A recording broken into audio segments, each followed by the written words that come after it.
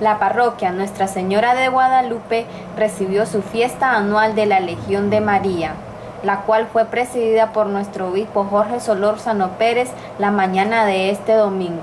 Esta fiesta anual del Asies es una fiesta que la Legión de María, donde se consagran los pies de la Virgen, es decir, la Virgen les da fuerza, les da protección, les da su amor en un encuentro importante con la Madre donde ella les anima, les ayuda a tener un encuentro más cada año para consagrarse.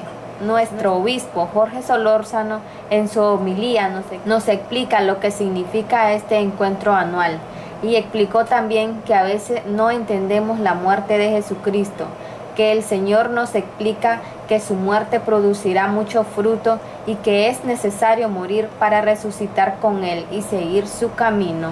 Para... Agradecer al señor cura párroco, padre Giovanni, toda la labor que realiza aquí en la parroquia.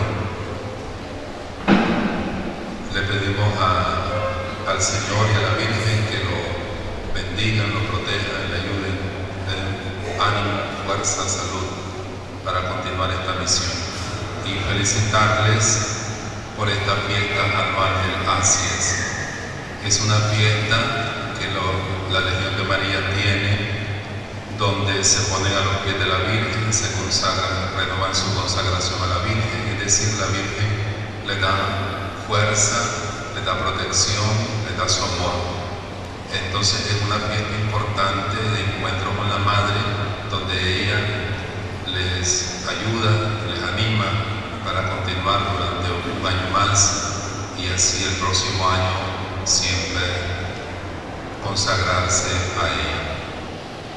Para los que nos gusta siempre ganar, este, este texto nos resulta absurdo, porque entonces dice aquí, la lógica es, para ganar hay que perder, y eso nos parece absurdo.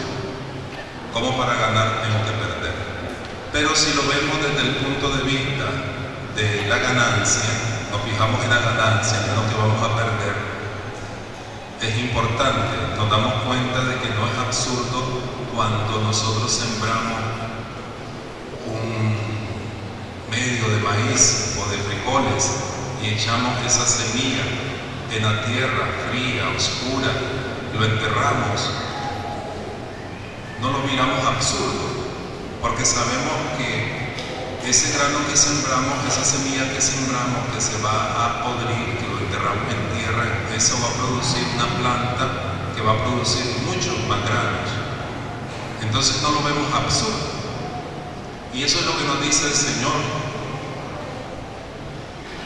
que la muerte de Él, porque Él nos está explicando que va a morir, ya viene la Semana Santa, que va a morir y es necesario que yo muera y él explica por qué es necesario pasar por la cruz, por la muerte.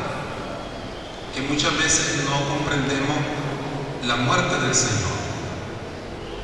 Y el Señor nos las explica. Y dice, entonces nos explica con este ejemplo del grano de trigo que cae en tierra. Si no muere, queda infecundo. Es necesario que yo muera, dice Jesús en la cruz. Porque si muero, producirá mucho fruto. Y, eso nos invita el Señor hoy. Ese es el anuncio de su muerte, de su resurrección para nosotros.